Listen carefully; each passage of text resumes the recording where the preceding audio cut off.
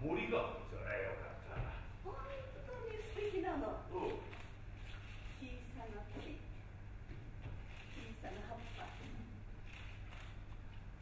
しかしその入り口に小さな花はいっぱ。い黄色くてちっちゃいの。旦那さんは？いちごを摘みに行ったの。無理やり追い出して あ笑い事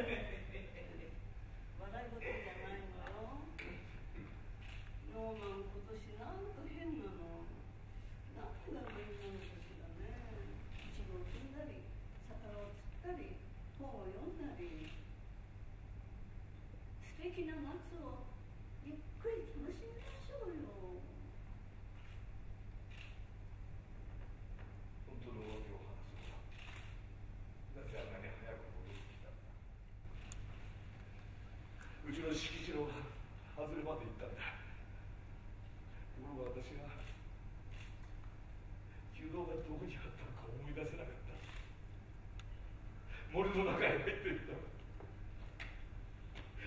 もう思い出せない。お昼にいちごを全部食べたら一緒に中道の方まで行ってみましょう。そうすればすぐ思い出すわ。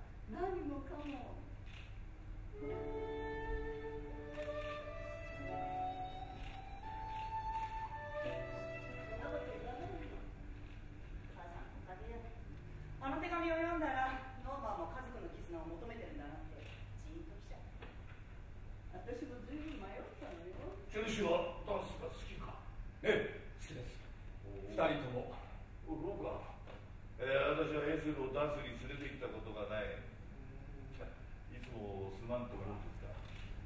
まだ間に合いません君はそういうだね。私の心と体はゴールに向かって大接戦さ。いやしかしあなたは今人生を楽しんでいらっしゃるじゃありませんか？